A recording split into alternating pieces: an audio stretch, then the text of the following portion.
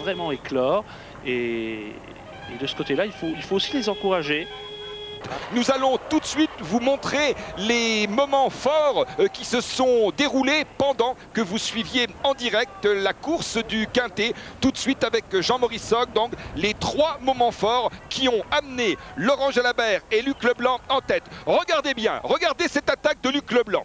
Luc Leblanc attaque, nous sommes dans l'une des ascensions euh, terribles, 7 km 700 de long. Luc Leblanc attaque, Laurent Jalabert réclique immédiatement. Laurent Jalabert qui vient se recaler dans la route de Luc Leblanc. Et vous voyez derrière que Stéphane Hulot et Richard Virang qui les accompagnaient cèdent. Celui qui est le plus distancé en dernière position est Richard Virang.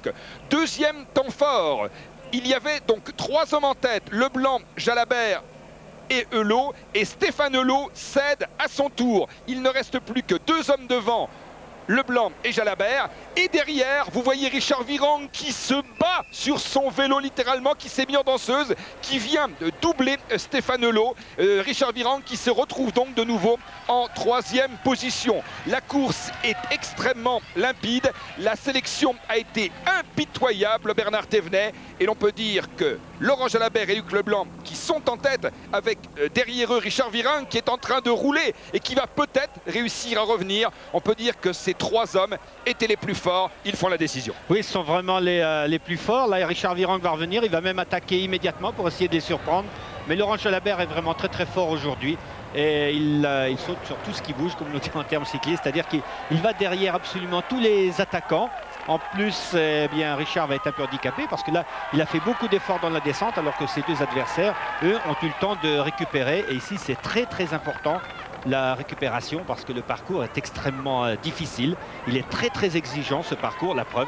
Il reste, euh, on peut dire, il reste plus que trois coureurs pour le titre et encore, je pense que surtout, le titre se disputera entre Luc Leblanc et Laurent Jalabert. Voilà les trois hommes qui marquent un petit temps d'arrêt. Il n'y en a pratiquement pas eu depuis le début de ce championnat de France. Ils marquent un temps d'arrêt pour se ravitailler, pour éviter cette terrible fringale qui peut survenir euh, sur un parcours aussi dur. Et avec cette chaleur, il fait très très chaud. Comme il y a du vent, on ne se rend pas très bien compte, mais il fait 27-28 degrés, il fait chaud alors que nous sommes à 800 mètres d'altitude. Il euh, il fait chaud et lorsqu'il fait chaud, on a plus tendance à boire, pas trop à manger. Et puis euh, bah, les, descentes durent moins longtemps. Il y a le même kilométrage de descente que de côte, hein, mais dans une descente, comme on va souvent quatre fois plus vite que dans la côte, bah, ça dure quatre fois moins longtemps. Il n'y a que dans les descentes qu'on peut s'alimenter. Et si on reste, euh, vous avez vu le parcours tout à l'heure, le profil du parcours, hein, si l'on reste euh, une, descente sans manger, après ça reporte beaucoup plus loin. Il faut environ une demi-heure pour faire le parcours, ce qui fait environ 45 minutes sans s'être alimenté, c'est un petit peu trop. Il faut aussi euh, beaucoup boire la journée, il faut éviter la déshydratation. Regardez de nouveau le profil, nous vous l'avons montré tout à l'heure, regardez la particularité de ce circuit. Une partie descendante qui part du circuit de Charade et qui conduit jusqu'à Chamalières. Et ensuite, cette côte en deux parties, 2 km 300, 4 km 200, 5,7 de moyenne, 7,4 de moyenne, mais avec après Roya jusqu'au retour sur le circuit de Charade avec des passages à 15, 16 et même 17%.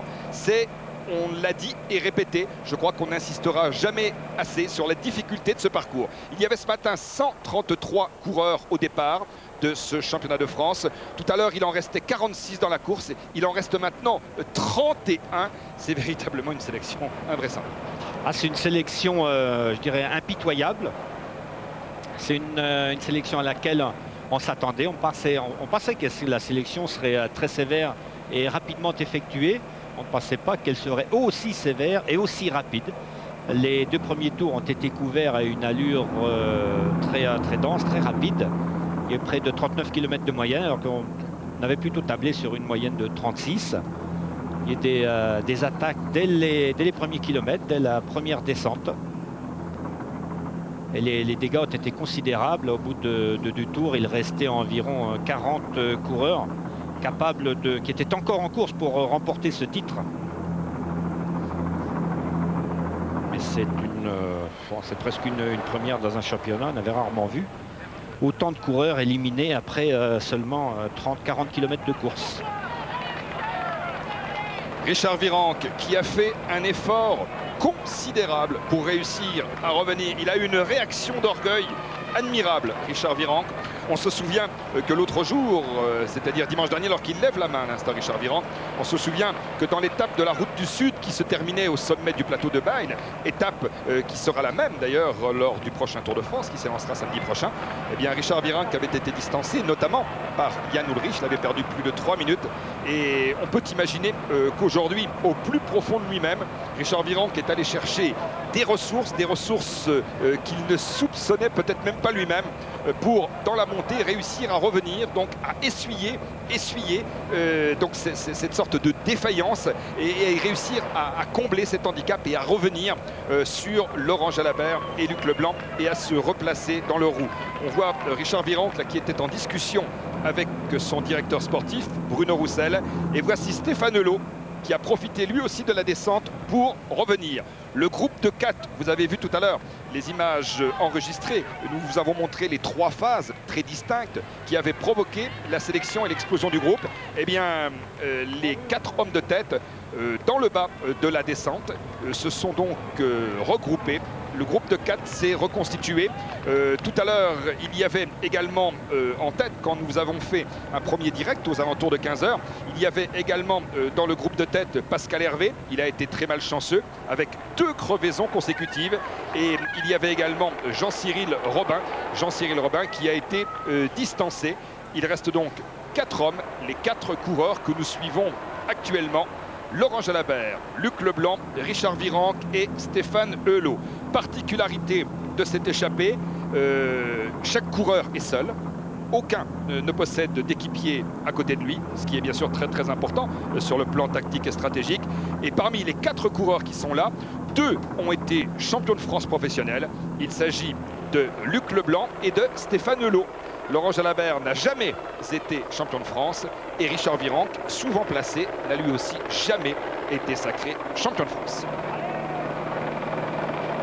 Nous allons voir euh, très bientôt si la, défaillance de Richard Virenque traduisait vraiment un état de, fatigue générale ou si c'était simplement un passage à vide, un petit passage ponctuel qu'il a réussi à surmonter et qui ne laisse pas de traces ou si vraiment c'est le, parcours qui est extrêmement exigeant et euh, où Richard aurait un peu, euh, trop laissé de, force dans les tours précédents parce que la course était vraiment terrible.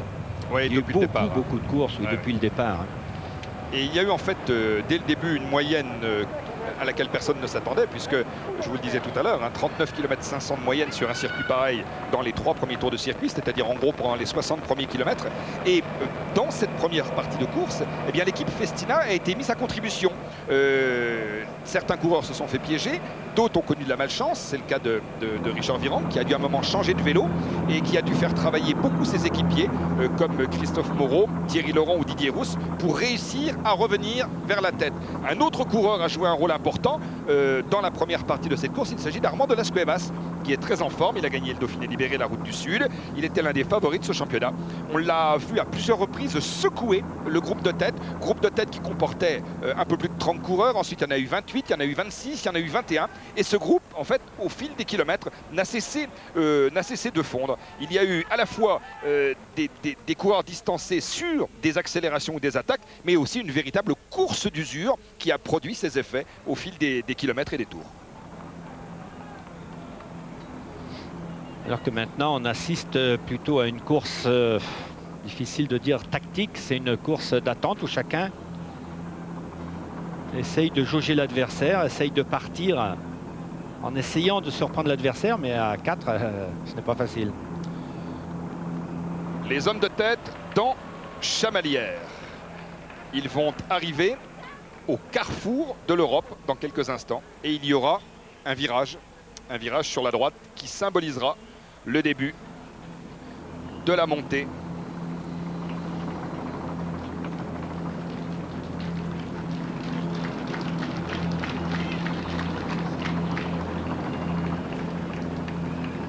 C'est vu d'hélicoptère avec la célèbre boule Vescam, c'est-à-dire en fait une caméra qui est adaptée sous l'hélicoptère, qui vous permet donc de découvrir la ville de Chamalières et la ville de Clermont-Ferrand. Il y a eu un très très gros travail qui a été fait au niveau de l'organisation autour de Patrick Cluzot, de Jean-François Jobert.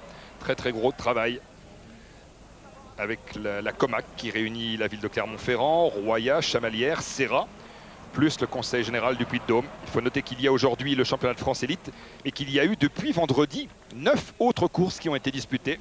Championnat de France féminin, gagné par exemple par Jenny Longo. Et il y a eu aussi des cyclosportives, des épreuves de VTT qui ont rassemblé 2500 participants, ce qui est un vrai succès. Et en fait, les organisateurs ont réussi à rassembler l'élite, elle est sous vos yeux, et la masse, avec ses 2500 participants aux cyclosportives, aux épreuves de VTT. C'était le but recherché. Et tout cela avec des conditions météo impeccables. Je crois que c'est la Provence qui a remporté le championnat des, des comités. comités régionaux. Et ce championnat à titre individuel a été remporté par Thierry Lauder, qui est le fils d'Éric euh, Lauder ancien coureur de chez euh, de Gribaldi, je crois, de chez, euh, chez Flandria, qui était suisse et dont le fils est français. Thierry Lauder premier, Michel Lalouette deuxième, Stéphane Riflet troisième. Et au niveau des comités, la Provence devant l'Île-de-France et l'Orléanais. Et chez les féminines, Jenny Longo devant Séverine Desbouilly et Fanny Lecourtois. Séverine Desbouilly qui est en Provence maintenant, mais qui en réalité est auvergnate courait donc pratiquement chez elle. C'est chaud, vous avez vu que Stéphane Hulot a descendu la fermeture du maillot pour essayer d'aérer un petit peu plus. Alors on se regarde, les coureurs regardent, vous avez vu, même Leblanc craint un retour de, Pascal Hervé. Il ne sait pas exactement où se trouve Pascal Hervé. Et je pense que ça, ça gêne quand même les, euh, les coureurs, enfin surtout euh, Leblanc et Jalabert qui euh, n'ont pas tellement envie de voir revenir euh, Pascal Hervé, puisque se trouvait à ce moment-là en, état de faiblesse par rapport au Festina qui se retrouverait à deux, donc avec plus de possibilités euh, tactiques. Je pense que malheureusement Pascal ne doit pas être bien parce que tout à l'heure on a vu Richard parler avec son docteur sportif Bruno Roussel et juste après Richard a fait une accélération. S'il attendait le, retour de Pascal Hervé, je pense qu'au contraire il serait resté à l'arrière sauf à être une ruse pour, euh, pour tromper l'ennemi, pour essayer de faire un petit peu d'intox, mais ça aurait été risqué. Alors le tour, euh, il y a 11 tours de circuit. Le circuit fait 19 km 300, au total 212,3 km. Nous sommes dans le dixième tour. Il en restera donc un quand les coureurs passeront sur la ligne. 475 mètres de dénivelé. 75 km d'ascension et au total, cela représente 5225 mètres de dénivelé. Et Philippe Bouvet écrivait dans l'équipe ce matin que cela correspondait à une étape du Tour de France, une étape de haute montagne, où les coureurs enchaîneraient Portée d'Aspect, Perros-Sourde, Aspin, Tourmalet et Lobisque. Je crois que ce sont des noms qui, parlent, et un enchaînement euh, qui parle également.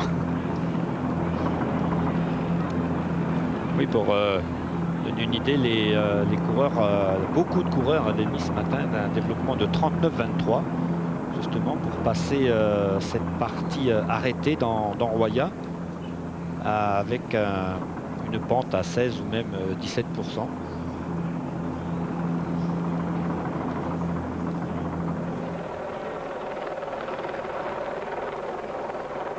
Stéphane Hulot, coureur de la Française des Jeux de Marc Madio. Il était le leader désigné par Marc Madio au départ de ce championnat de France, le leader désigné de la Française des Jeux. Stéphane Hulot qui vient de terminer 15e du Tour de Suisse et qui pour l'instant n'a pas eu beaucoup de réussite depuis le début de cette saison, Stéphane Hulot. Ce championnat de France est important pour lui, tout comme le sera d'ailleurs le Tour de France qui débutera samedi prochain avec le prologue à Dublin. Je donne tout de suite quelques précisions. Nous aurons le plaisir de vous retrouver à partir de 13h50 sur France 2. 13h50 pour une émission qui s'appellera En route pour le Tour. L'invitant sera Bernard Hinault, 20 ans après sa première victoire dans le Tour, c'était en 78, 78-98. Et vous reverrez tous les grands moments depuis le début de la saison. Et nous aurons également face à face Walter Godefroth, directeur sportif de Yann Ulrich, et Bruno Roussel, directeur sportif de Richard Virenque et d'Alex Zoule. 13h50 samedi prochain sur France 2. Et ensuite, bien sûr, le direct du prologue tracé dans les rues de Dublin. On a vu Marc Madio qui était venu parler à Stéphane Hulot. Marc Madio qui adore les circuits, qui adore les championnats. Il a lui-même été champion de France sur route et champion de France de cyclocross. Il adore les courses en circuit. Il l'adorait quand il était coureur et il les adore tout le temps maintenant qu'il est un sportif.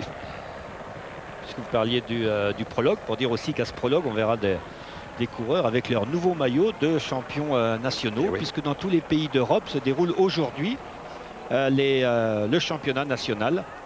Et euh, bien que la- le prologue du Tour de France est une occasion euh, de retrouver tous ceux qui ont été champions nationaux, puisque la plupart participent au Tour. Pas tous, mais une grande majorité.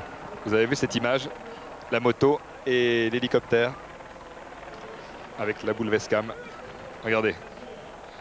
Et ce ciel bleu, il fait très très beau sur l'Auvergne, qui est une grande région de cyclisme, grande région de cyclotourisme, grande région de VTT.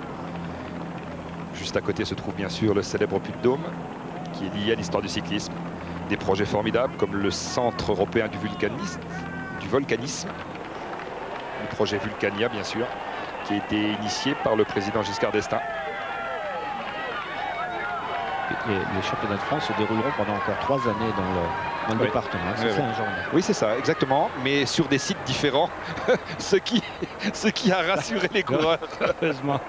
Ouais, heureusement pour une grande majorité des coureurs. Vous voyez l'année prochaine refaire le championnat sur le même parcours. Voilà. Ils peuvent se, se mettre une vingtaine au départ, c'est bon. Voilà. Là, nous sommes dans la première partie de la montée. Elle fait 2 km 300. C'est celle qui part du carrefour de l'Europe à Chamalières et qui se termine au-dessus de Roya. Ensuite, il y a une petite euh, descente de 700 mètres et l'on attaque la longue montée 4 km 200 avec les passages terribles. Vous avez vu qu'il y avait des, des policiers qui étaient bien placés pour suivre la course. Voilà, les coureurs euh, récupèrent parce que euh, les, hommes qui restent encore en course, il en reste encore quelques-uns, ils ne sont pas seulement 4, mais le- leurs poursuivants sont vraiment euh, très très loin. Et même s'ils arrivaient à revenir, ils seraient trop épuisés pour retenter quelque chose.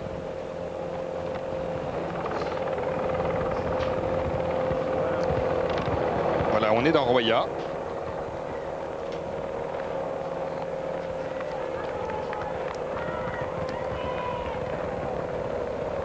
Elle est, euh, le travail des, des services techniques municipaux hein, qui ont Ah oui. posé beaucoup, beaucoup de, de barrières, puisque euh, ce parcours se déroule pour partie en, en campagne sur le circuit de Charade et pour partie en ville, aussi bien dans Chamalières que dans Voilà. Roya.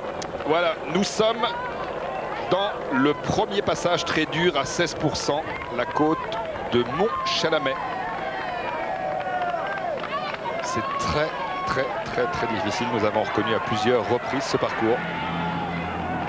Richard Virenque, Luc Leblanc, Laurent Jalabert, Stéphane Delot, Richard, Le- Richard Virenque qui s'est refait une santé. Vous voyez qu'il y a beaucoup, beaucoup, beaucoup de monde. Très gros succès populaire ce championnat de France. Attention à l'attaque de Leblanc. Et voilà Luc Leblanc qui attaque encore une fois. Et comme tout à l'heure, le premier à réagir a été Laurent Jalabert. Richard Virenque a perdu quelques longueurs. Et oui, regardez, et Stéphane Delot encore plus. On se retrouve en fait, il y a quelques minutes, nous vous avons montré les images du tour précédent. On se retrouve pratiquement avec le même scénario. Si ce n'est que là, c'est Stéphane Delot qui a été le premier décroché. C'est un parcours extrêmement dur et ce sera comme ça tous les tours, bis repetita. Mais euh, par contre, là, euh, pour l'instant, attention, hein, on a vu devant que Laurent Jalabert a plus de peine que tout à l'heure pour revenir sur... euh, Ouais, ça va être dur. Ah, Luc Leblanc est un bon grimpeur, on le sait. Il a gagné des grandes étapes de montagne dans le Tour. On se souvient des Arcs, on se souvient de Otakam. C'est un homme de circuit. Il a été champion de France en 92, champion du monde à Agrigent en 94. Vous étiez à l'époque, Bernard, l'heureux directeur sportif de l'équipe de France. Et, et, Luc Leblanc, en plus, adore la chaleur, il adore la répétition des efforts. Il est vraiment dans une, dans une situation qui lui convient parfaitement. Il se retourne pour regarder les dégâts. Eh bien, les dégâts sont importants. Ils étaient quatre il y a quelques instants, ils ne sont plus que deux. Et Laurent Jalabert bah, est revenu progressivement. On peut aussi imaginer que Laurent Jalabert ait décidé de revenir au train. Exactement, oui, oui. Il n'a pas voulu euh, se mettre trop dans le, dans le rouge. Il a fait juste ce qu'il fallait pour que Richard euh, Virenque ne puisse pas prendre sa roue et revenir sur euh, Luc Leblanc à, à son rythme, c'est une façon de dire. hein, parce qu'en Ouais. réalité, c'est un rythme qui est extrêmement élevé. Mais euh, sans, sans se mettre vraiment à 100% de ses possibilités.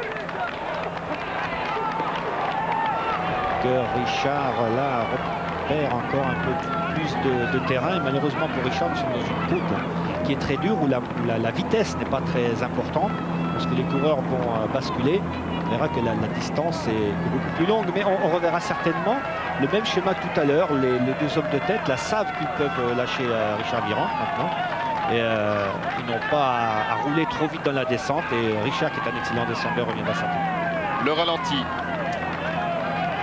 l'accélération, l'attaque de Luc Leblanc sur la gauche. La réaction immédiate de Laurent Jalabert qui était en troisième position à ce moment-là. Luc Leblanc qui a pris le risque de partir avec Jalabert dans la roue, c'est la preuve qu'il est, quand même très fort, hein, Luc euh, Leblanc. Et nous retrouvons les deux hommes.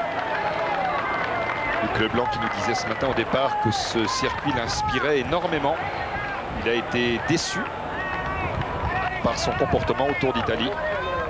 Il sait que les années passent, Luc Leblanc. Il a d'ores et déjà annoncé qu'il arrêterait sa carrière à la fin de la saison prochaine. Quant à Laurent Jalabert, euh, tout le monde savait euh, qu'il venait ici, à Clermont-Ferrand, à Charade, qu'il venait avec de grandes ambitions.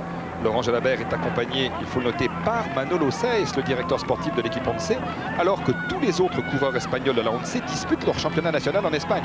Pour vous dire à quel point euh, ce rendez-vous était considéré comme important. Laurent Jalabert qui est arrivé hier matin avec Manolo Seis, qui a reconnu à plusieurs reprises le circuit hier. Laurent Jalabert qui est accompagné de Sylvie, son épouse, et de ses deux petites filles. Elles étaient au départ ce matin. Et Laurent Jalabert nous disait, c'est de toute façon un circuit qui va user les organismes où l'on peut faire, où l'on peut faire la sélection, un circuit qui me convient. On se souvient que l'an dernier, il n'était pas au départ du championnat à Montlhéry, car il estimait que le circuit n'était pas assez sélectif. Et comme il venait seul, en tant que seul coureur français de la formation on sait, il n'avait pas d'équipier, il pensait que ses chances étaient extrêmement réduites, réduites dans une course tactique, alors que là aujourd'hui, dans une course, comme il le disait ce matin, à la pédale, eh bien Laurent Jalabert se retrouve pratiquement à égalité de chance avec tous ses grands rivaux. C'est symptomatique ce que vous dites là, puisque les, deux coureurs sont ici, n'ont pas d'équipier ni l'un ni l'autre. C'est une euh, possibilité pour, euh, pour les coureurs de se distinguer. On sait que le, parcours est dur, certainement trop dur. On ne fait pas des parcours comme ça tous les ans, ni même on un comme ça tous les 20 ans, c'est largement suffisant. Pour l'histoire. Alors que voilà, pour que les coureurs euh, qui sont esselés puissent avoir leur, leur chance. Alors que là, on a l'impression que Hulot va revenir hein, sur Richard Virenque courageux, ils sont très courageux tous les deux. Oui, je pense que oui, avait euh, certainement, il doit être très fatigué, il a très mal aux jambes et sur l'accélération, lui n'a absolument pas répondu. Il a préféré hausser son, rythme, un petit peu à la manière de, Jalabert, mais un peu en dessous. Stéphane Hulot qui avait été sacré champion de France à Castres, hmm. devant Laurent Roux. Stage, qu'il a Richard Virant, lui, a terminé 6e en 92, 7e en 90, 17e en 95, 7e en 97 du championnat de France. Il a également été 3e du championnat du monde en 94, 6e en 95, 5e en 96 et 5e au Jeu d'Atlanta en 96. Il a donc euh, toujours été excellemment placé. Richard Virant dans les courses sur circuit sans jamais réussir à gagner. 18 secondes ce n'est pas beaucoup, 18 secondes, mais euh, parce que je pense même que tout à l'heure, les, deux poursuivants pourront rejoindre les, deux hommes de tête, c'est-à-dire le tandem euh, Viran que l'eau pourra rejoindre le tandem Jalabert, le blanc. c'est toujours la possibilité voilà, de poursuivre réattaquer au cours du dernier tour, hein, puisque il restera un tour lorsque les hommes passeront sur la ligne s'entend relativement bien. Euh, là, à l'avant, bien sûr, les, deux échappés ne se donnent pas pleinement, loin de là.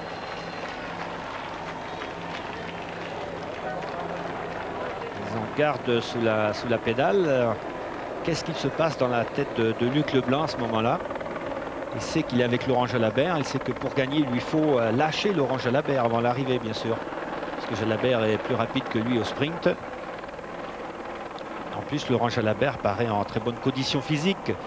Parce qu'on arrive à deux au bout d'une course de 200 km aussi dure que celle-ci. On sait qu'un sprinter est émoussé. Mais euh, là, l'Orange Jalabert ne paraît pas émoussé du tout, du tout. 21 secondes, l'écart augmente. Nous sommes toujours, vous voyez que cette montée est interminable, véritablement interminable. Et c'est la dixième fois que les hommes de tête, que les deux hommes de tête, c'est la dixième fois qu'ils escaladent.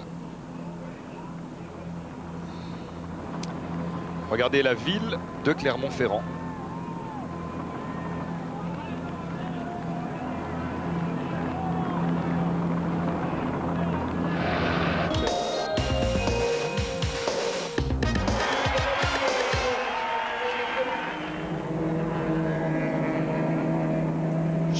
Francorchamps, 15h50 minutes. Madame, mademoiselle, monsieur, excellent après-midi. Bienvenue sur la une pour l'épilogue de cette 50e édition des 24 heures de Francorchamps. Nous sommes en compagnie du leader de l'épreuve, Alain Cudili, associé à Eric Van de Poel et Marc Duet, autoritaire, leader depuis plusieurs heures maintenant et qui devrait, sauf accident de dernière minute, ce que l'on ne souhaite pas à cet équipage, remporter cet anniversaire, cette 50e édition. Vous avez à l'image le classement, trois tours d'avance sur Hugues Weisenberger et Van de Hover sur la première Peugeot. Troisième, Cortals Molekens Lagorce à six tours. Et puis la bagarre fait rage pour la quatrième place entre la voiture numéro 11, celle de Ferté, la voiture numéro 26, celle de Lafitte et la voiture numéro 3, celle pilotée actuellement par Eric Bachelard. Il faut savoir que 22 secondes, vous avez bien entendu, 22 secondes séparent ces trois voitures. Tout cela après maintenant 23 heures et 50 minutes de course. C'est tout simplement extraordinaire ce qui se passe pour cet accessite.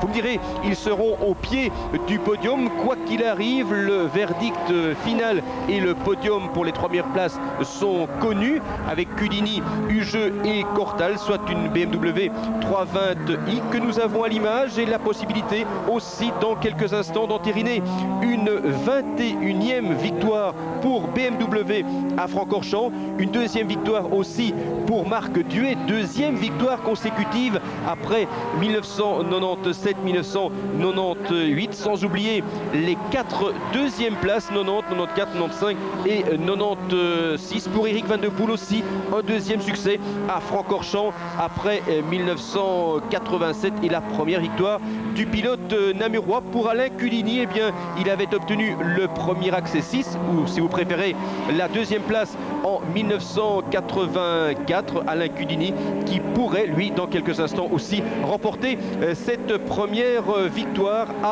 Francorchamps dans cette 50e euh, édition. Alors euh, Marc Duet, eh bien on va le retrouver tout de suite. Il est sur la pit lane. Je crois qu'il décompte les minutes, les secondes qui le séparent maintenant de 16 heures et on va le retrouver tout de suite au micro de Christophe Anquet. Oui, exactement, Pierre. Alors, Marc, vous avez attendu très très longtemps pour gagner les 24 heures de Francorchamps l'année dernière, et là, vous allez les remporter une deuxième fois. C'est quand même dingue, ça. Je suis pas c'est vrai que quand on s'habitue, on continue. Hein. Très honnêtement, si, après les essais, on vous avait dit que vous seriez en tête au terme de la course, vous l'auriez cru? En cachette au fond de moi-même, oui. Mais en public, non. J'aurais jamais osé le dire tout haut. Mais j'y croyais parce que je, sais comment toute l'équipe a travaillé, je sais comment quel était le plan et euh, c'est sûr, on a, on a compté avec la, malchance de, nos adversaires et on en a profité, mais euh, le plan était, bien élaboré et on savait que notre mécanique était une mécanique très, très fiable. Cette année, c'est une grande année comme régulier. Vous avez remporté pas mal de courses de 24 heures. Hein. Et oui, avec BMW, euh, les 24 heures de Daytona, les 24 heures de Burking, les 24 heures de Francorchamps peut-être. Et euh, je vais rouler encore à Zolder avec une BM aussi, donc euh, ce serait pas mal de faire 4 sur 4. Il en manque une, c'est Le Mans, c'est pour quand? Juste Le Mans l'an prochain. Et merci à vous, Pierre. Christophe, peut-être demander aussi à Marc s'il aura le temps de faire la fête, parce que je me suis laissé dire qu'il devrait quitter assez rapidement Francorchamps pour déjà gagner l'Espagne, où on l'attend chez Seat pour des essais. Exactement, euh, Pierre. Pierre me, me, rappelle justement que demain, vous partez en Espagne pour rouler ce sur soir une voiture de rallye. Hein. Ce soir Non, c'est ce soir. Dans une heure et demie, je pars en Espagne, parce que demain matin, à 7h, vient me chercher à l'hôtel, et à 9h, je roule avec la nouvelle Seat euh, WRC. Et j'ai la, la chance être le pilote d'essai, donc euh, j'ai du boulot tout le mois de juillet. C'est fou, ça, une fête sans Marc Duet ici euh, à Francorchamps, ça va être difficile. Hein. Et vu le potentiel des mecs qui habitent dans le coin ici, ils vont bien faire la fête tout seuls. hein. Je vais leur donner un peu d'argent pour qu'ils prennent un verre pour moi et on aura, on aura l'occasion de parler de ça euh, quand on sera vieux. euh. Au coin du feu. Je, je- je reviendrai dans un mois ou deux ici.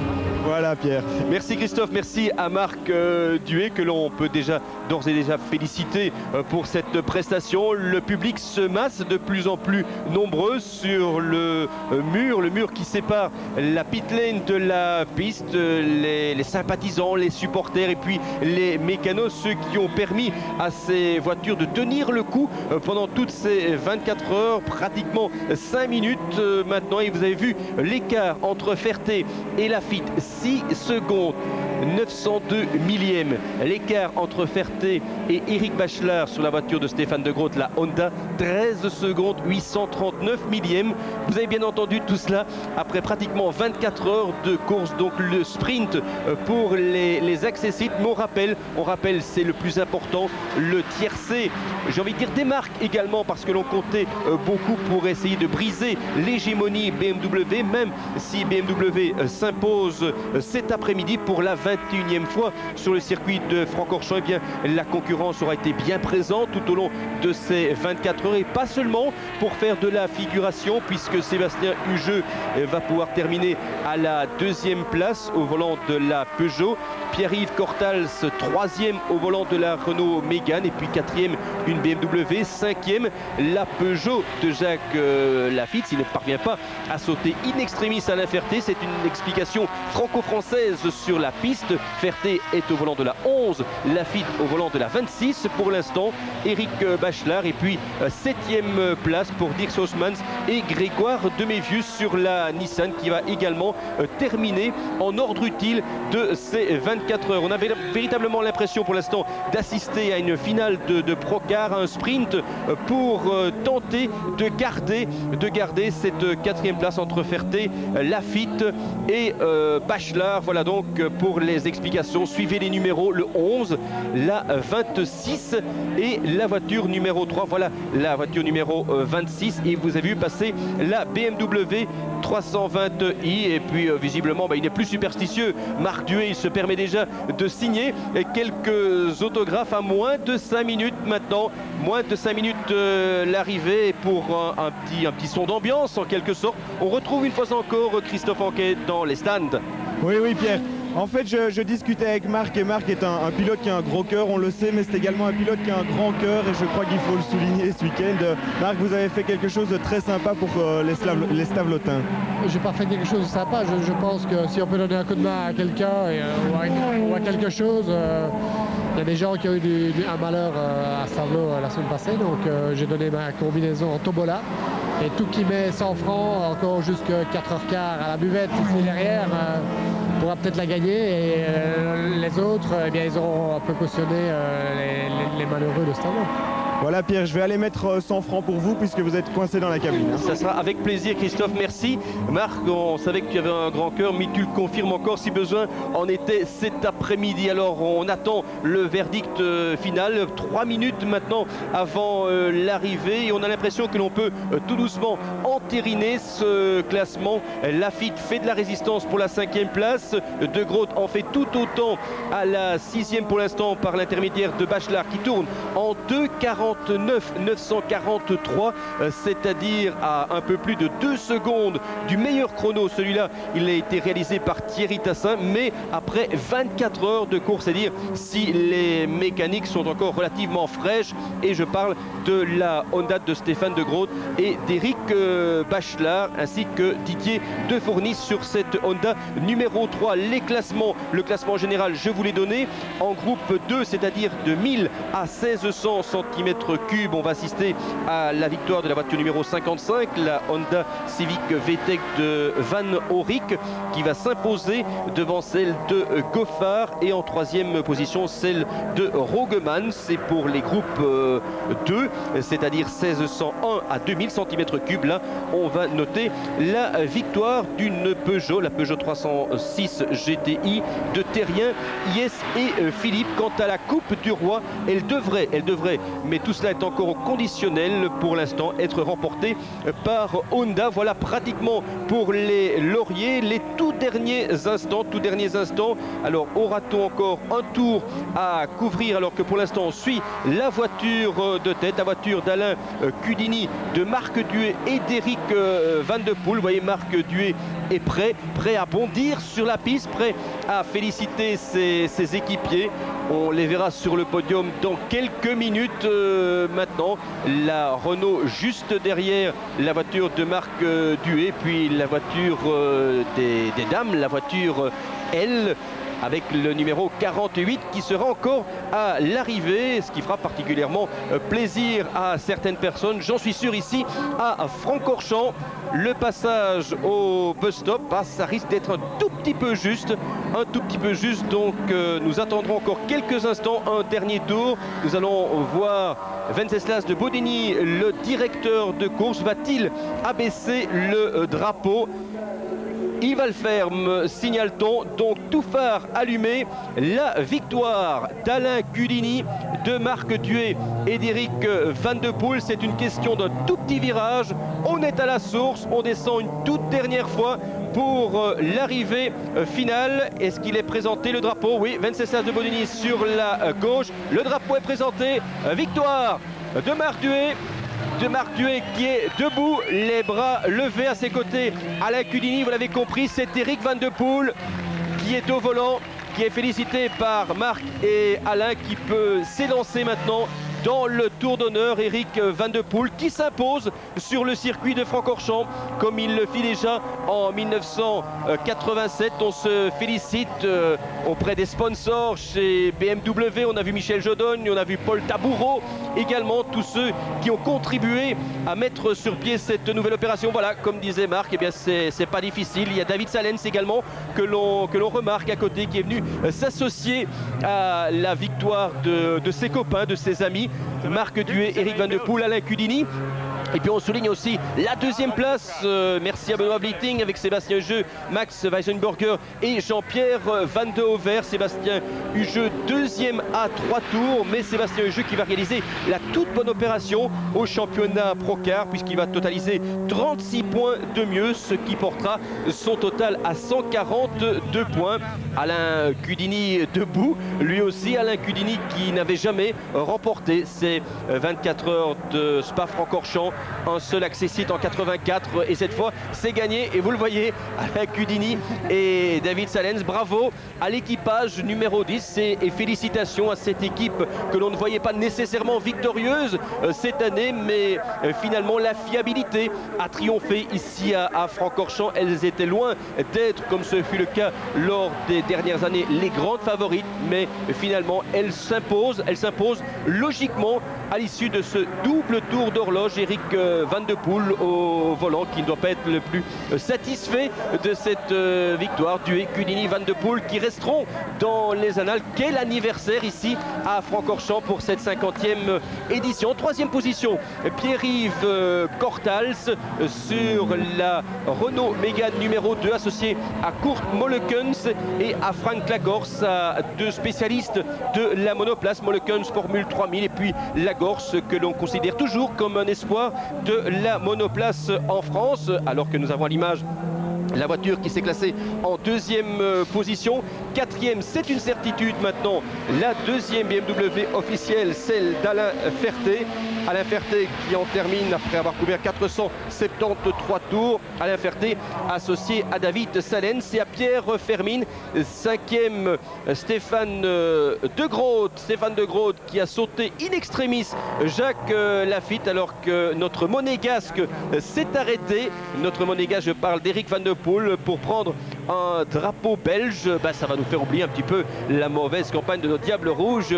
Ici, les couleurs belges sont portées bien haut et très fièrement par Eric Van de Poel, le, vainqueur de ces 24 heures 1998, qui restera, qui restera un millésime. C'était une nouvelle réglementation. C'était un peu un enfant qui était porté sur les fonds baptismaux, mais finalement l'expérience peut être couronnée de, de succès. On pourra corriger certaines choses, mais d'ores et déjà il y a quelques instants, eh bien Jean-François Chaumont, l'un des organisateurs, annonçait que vraisemblablement la date euh, retenue, et même en fonction du mondial, vous me direz, il n'a lieu tous les 4 ans, la date retenue, c'est-à-dire ce premier week-end de juillet, pourrait être reconduite pour l'année prochaine. Donc c'est une information déjà importante qui n'est pas encore certaine, mais, il y a gros à parier de retrouver, eh ici les voitures euh, l'année prochaine. Peut-être Christophe Anquet pour d'autres impressions depuis les stands. Il se retourne, Axel. Il se retourne. Il faut encore, il faut encore essayer d'avoir le courage d'en mettre un petit peu. Il donne l'impression d'aller plus vite, mais il pédale euh, donc il a une dent en moins que, En moins. Franck. hein. Oui, oui, bien sûr. Franck, peut-être avec le, le 11 dents ou 12 dents, lui, euh, il préfère tourner les jambes. Enfin, Ah, les jambes. image. hein. 13 secondes, mais 13, le chiffre qu'on lui souhaite de tout cœur, que ça lui porte bonheur. Le numéro 142. Et oui, seul de son équipe, il n'a pas un seul équipier. Sur un circuit où on disait que le travail d'équipe était important. C'est peut-être quelque part pour, pour le travail qu'il a fait. Et un journaliste ne doit pas être supporter, et je ne le serai pas. Mais c'est peut-être la première fois dans ma carrière que je souhaite quelque part que Franck Vandenbroek ne revienne pas sur un coureur. De toute façon, Franck est en train tout à fait de se sacrifier pour Tom Stales. Est-ce que comme à Paris-Bruxelles, il va lui manquer quelques... À Paris-Bruxelles, il manquait un tour. Est-ce qu'il va lui manquer un kilomètre? Je crains que ça revienne. 7 secondes, c'est le moment le plus difficile. Il coince un petit peu.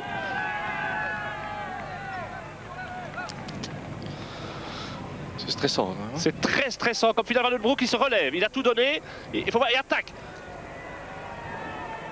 Matane. Non, c'est Matane qui vient maintenant prendre le relais, je pense, de, de Franck dans la poursuite.